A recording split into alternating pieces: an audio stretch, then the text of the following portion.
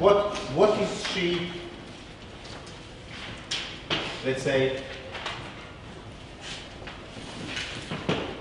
what is the position that the title of the book wants to differentiate itself from? Meeting halfway is a kind of compromise. So, it's a compromise between maybe the mental and the physical. A compromise, a sort of a, a middle point between the mental and the physical. Well, a touching. A touching point. That's nice, yes. Um, so, um, what does it mean? Well, where, where is halfway? Where is halfway? What does it mean to meet someone halfway? What does it mean? When you tell someone, I will meet you halfway, That you're all like both moving? You are both moving and you meet at the middle point. Yeah? Um, it's different from saying, you come to my house. Or it's different from saying, I come to your house. yeah? So it's different from saying, I am a subject and you are an object and we are completely separate. Yeah? Here I am, I am a subject, here is an object, and I study it, or photograph it, or analyze it, and we are completely separate. I am not an object. Yeah? Why? Because I have consciousness. The object has no subjectivity. Why? Because it is a thing, not a thinking thing, just a thing. Yeah? So there is a complete divide between us, and thanks to the consciousness I was given, I can study this object. So that's not meeting the universe halfway. That's holding the universe over there and studying it through a telescope or a microscope or whatever scope you might have. Yeah? That's one position. The other might be to say, we are all one. Me and this and the table and you and everyone, we are all one. There is no distinction between us. That, you know, um, so certain um, mystical uh, teachings and some philosophical teachings would um, take this point, this position quite seriously. So Barad, I just want you to get a clear idea what is the title indicates.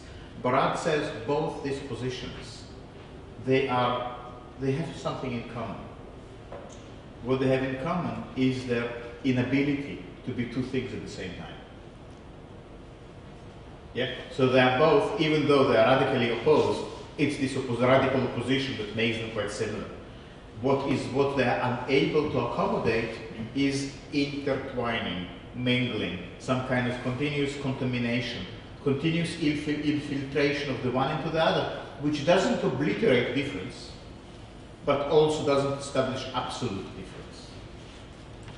Yeah, that's what meeting the universe halfway is recognizing that the scientific procedure is valid not because it is objectively true, it's valid, however, it is not separate from the object it studies. Yeah? It is the same intertwined, interconnected process that contains within it the science and the sociology and the, and the culture uh, and the mind and the consciousness. So that's why um, Barad, I think we will see it more next week, proposes, suggests that we think about refraction rather than representation. And what is refraction? Do you know? Do you know refraction? Light bounces in a certain way. You sometimes get, if you, for instance, scan um, old negatives, scan negatives, and they get these kind of rings, you know, refraction rings, because are air bubbles trapped between, let's say, the film and the glass of the scanner, yeah, and you get kind of refraction. Or like when you throw a pebble into the pond, and you get this sort of uh, ripples through the pond. Um, so that for uh, Barad is a much more interesting model to think about the way entities interact yeah, through continuous refraction. So that's, that's the sort of things uh, we're going to look at today. Uh, but before we get into all that, I wanted to um, go back to the Schrodinger cat. and I, I brought a, a, picture which I think is a better explanation than the previous uh, one we looked at.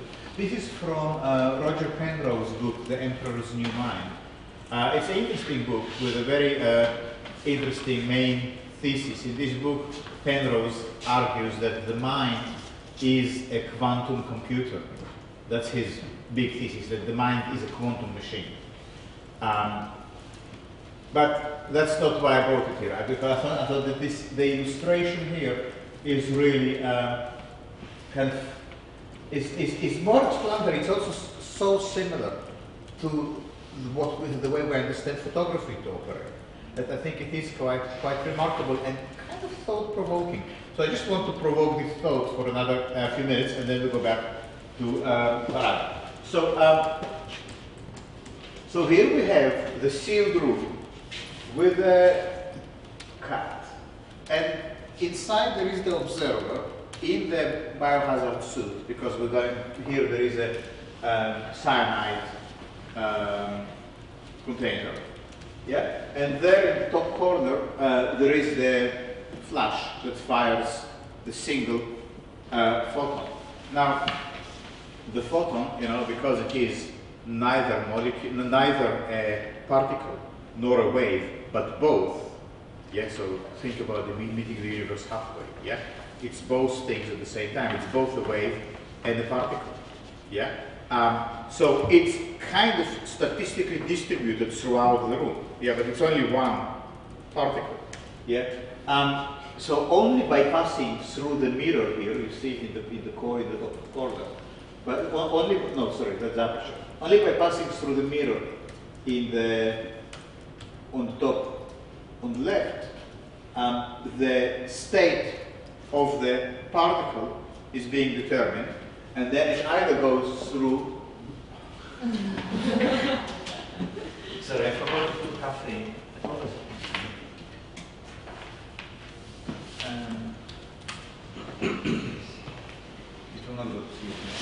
Um, now, the whole point of the story is that for the observer inside the room, once the flash was fired, the state of the cat is clear. Yeah? The cat will be either dead or alive. But for the person outside who has no access to the room, the, the cat is both dead and alive. Yeah? And will be so until a measurement is taking place. It is the measurement that actually forces the cat to either be alive or the, the measurement. But, but the, the, interesting point here is that we have here two people, you know, uh, person A inside the room, person B outside the room. And it seems that their reality is different in, ter in, in terms of the cat.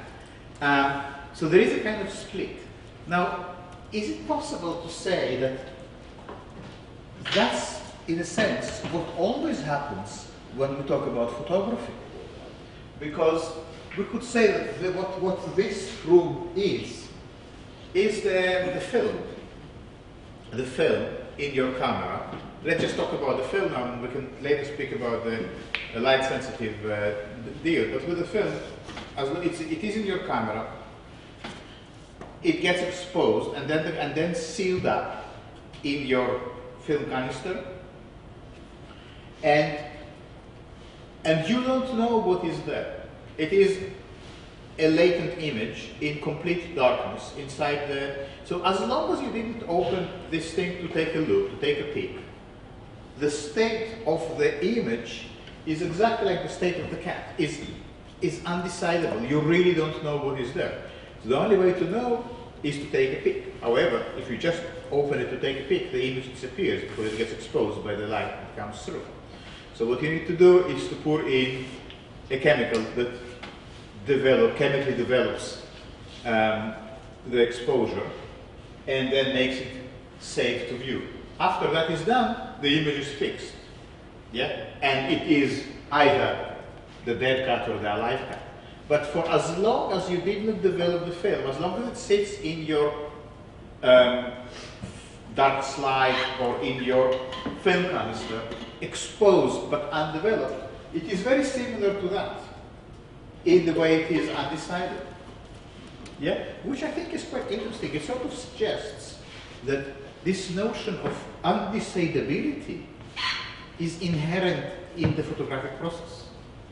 Yeah, we overcome it by developing the film, but in a sense, we also destroy something in doing that. Yeah. So why are we bothering to develop? Why is it not enough to leave the image latent?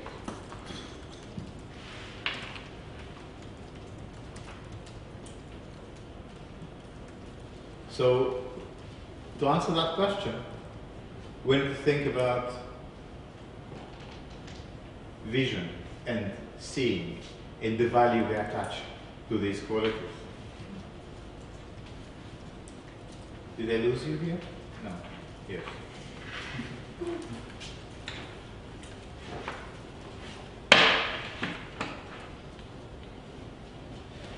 Okay.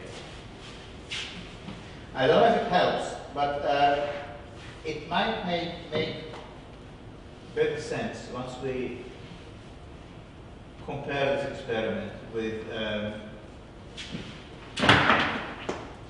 Barad.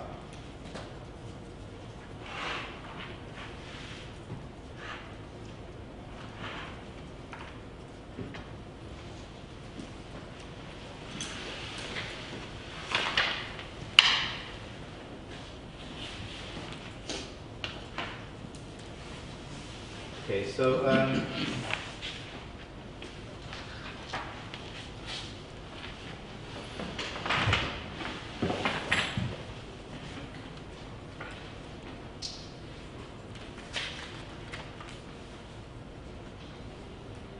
okay. So we want to be on page thirty-nine.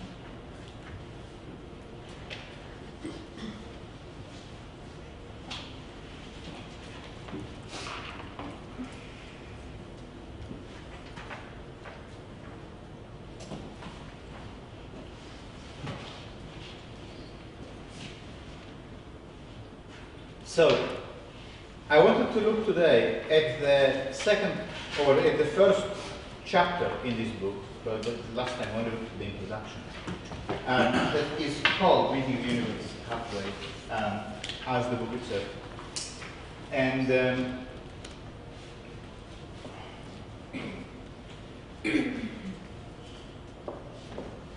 let's have a look here.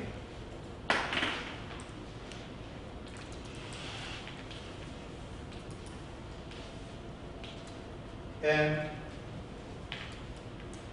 yeah, I want to read this paragraph that starts on page 40 and it is the last paragraph on the page. Can you see like this? Is it, see- is it clear? Um,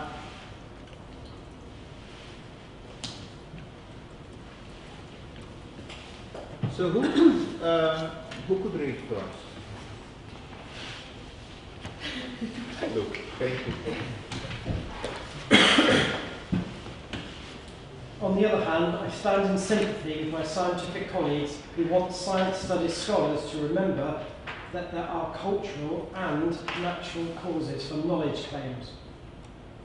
While most constructivists go out of their way to attempt to dispel the fears that they are either denying the existence of a human independent world or the importance of natural, material, or non human factors in the construction of scientific knowledge, the bulk of the attention has been on social or human factors.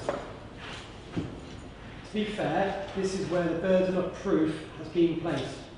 Constructivists have been responding to the challenge to demonstrate the falsity of the worldview that takes science as the mirror of nature.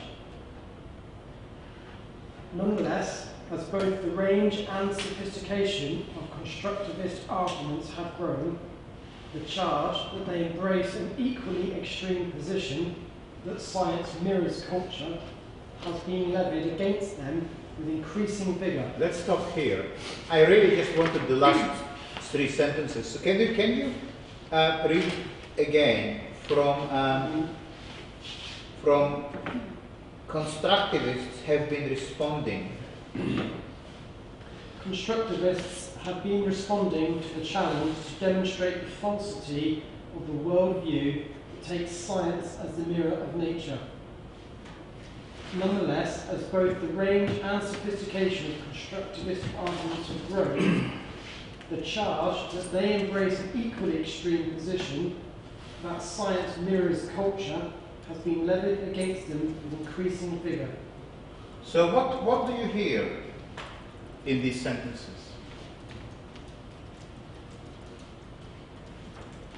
What do you hear? Kind of kind of somebody. Um, This is similar to a Heidegger piece that we had when we looked at nothing, but the scientists, constructivists are saying that the science doesn't explain everything. It's, um, so there are two positions here. But I want you just to be very clear. I mean, we're not studying science. So we, we want to make a leap from this discussion to the things we are concerned with, which is the image. But I just want you to be clear about what is the main, where are the two main camps. In one camp, there is the approach that says science is a mirror of what? Of nature. In the other camp, what is the approach? Science is a mirror of culture. Yeah? So some people say science objectively knows about the world out there. The others say science can only know about what's going on in my head. Does it make sense? Do you understand why? Yeah. What Barad is saying, not surprisingly, he says, you both need to wake up and smell the coffee. You both fall into the same trap of thinking in dualistic binary fashion. Yeah? Okay. What do you think? What can you take from this to think about art practice? Can we just schematically say that in the way people talk about art practice, this, this opposition is still sustained? The famous thing of life imitating art, art imitating. It is this, yes.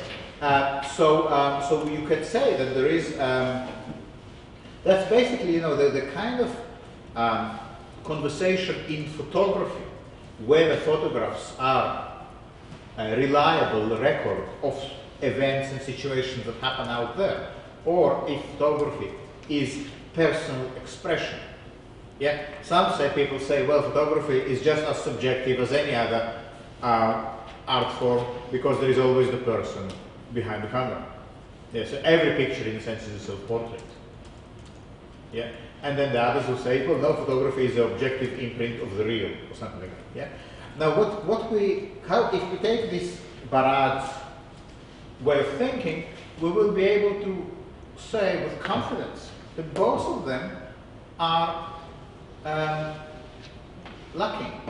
They are not, they are false opposites because both of them begin from the notion of the subject. Yeah? Some say that the subject can know the world for what it is objectively. Others say no, the subject only can know what the subject is, but also objectively. And ultimately, none of them allows you to be in a place that questions why do we have the subject in the first place.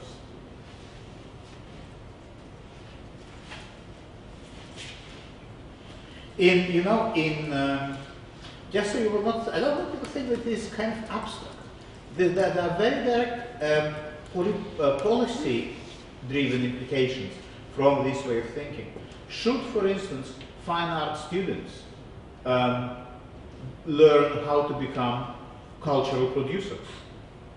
Should we teach you how to um, make cultural objects, television programs, um, posters? Um, you know, should, should, should your education in art be oriented towards cultural production?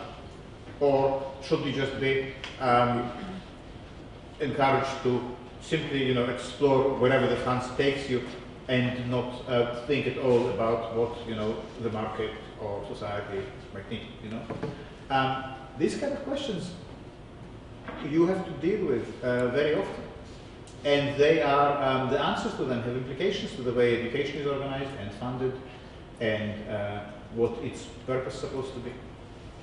So and that's where it is.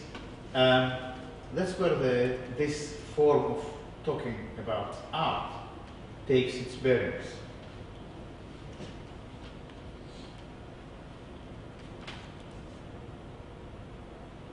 You are very quiet today. Are you okay?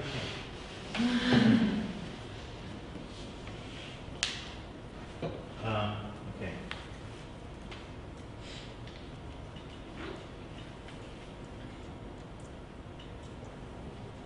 Right. Let's go to page 46. That, I think that's maybe the.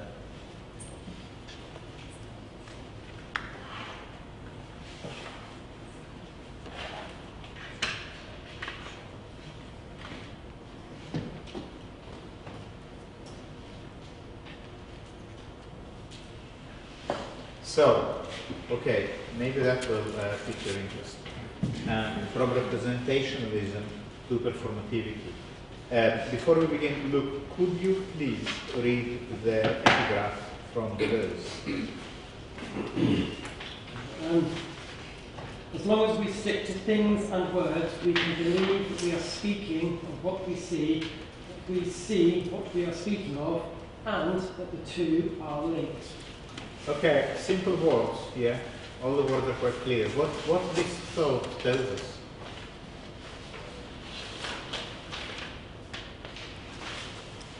What, what do you hear in the Deleuze here?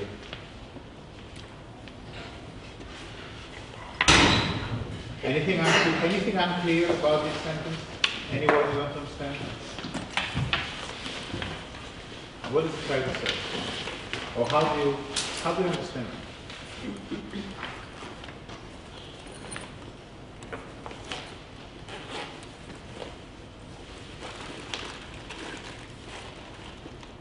Ricky, is it a hard question? And why is it, why is it, wh- why is it a hard question? Because it's obvious.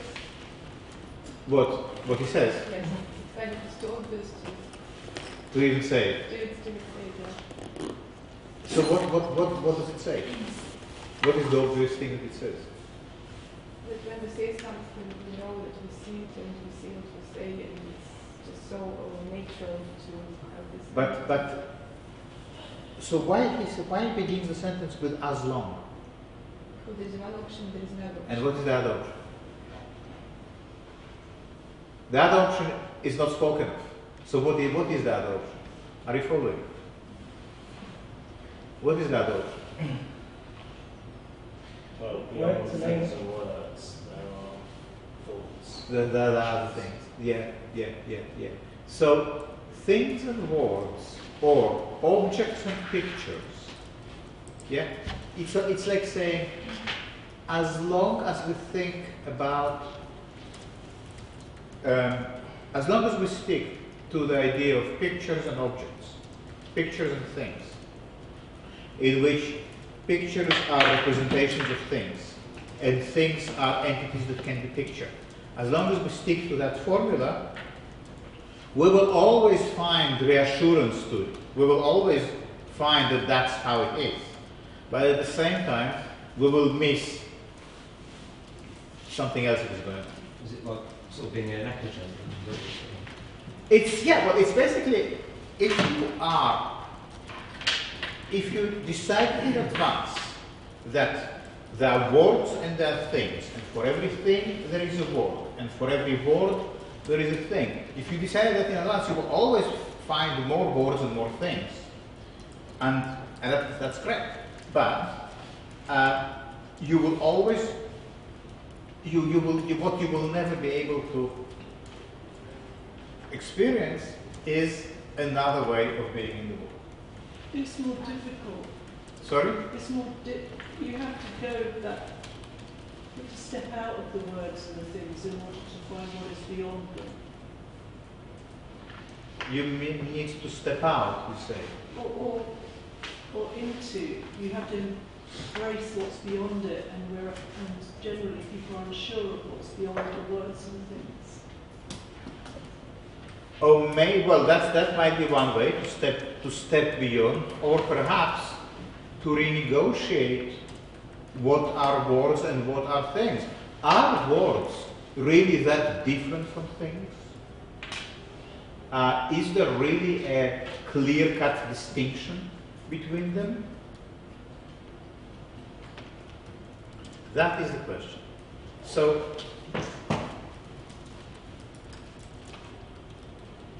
Okay, Luke, are you still okay to uh, to read to us?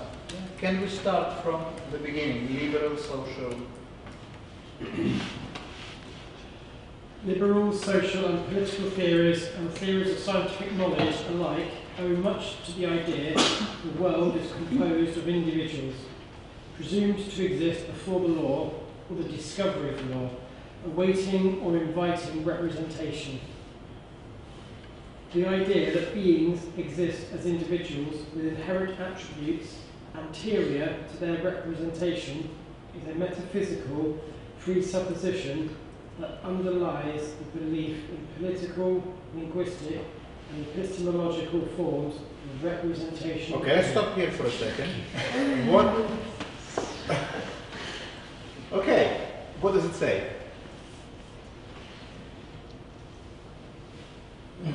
well, that um, humanism or whatever um, makes the things on simple labels on things, words on things. Everything's defined and fixed and internalized and ignores you know, the fluidity of mm, mm, mm. So how, if we go back now to what Deleuze was saying, where was it?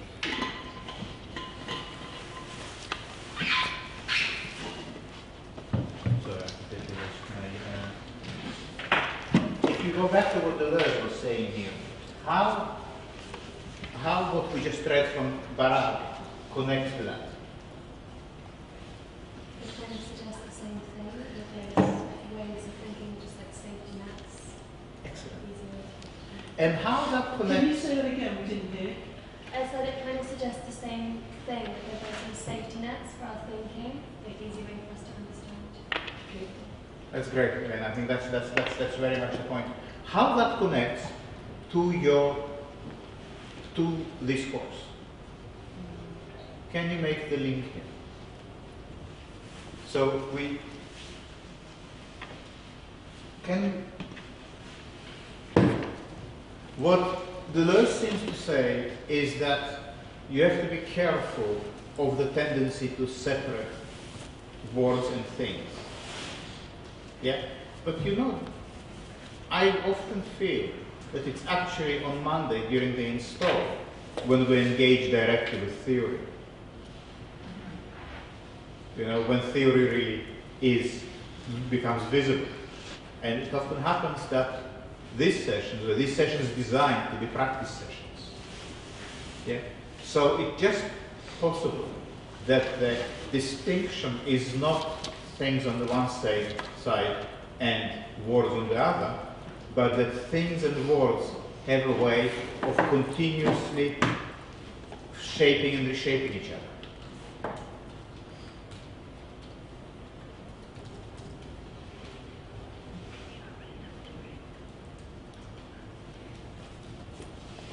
And so I think what, what Deleuze is saying here is almost something I can take as a uh, motto for, uh, for the way we work in an art school. So, Luke, can you read the next sentence that starts from or to put the point the other way around? Or to put the point the other way around, representationalism is the belief in the ontological distinction between representations and that which they purport to represent. In particular, that which is represented is held to be independent of all practices of representing. That is, there are assumed to be two distinct and independent kinds of entities. Representation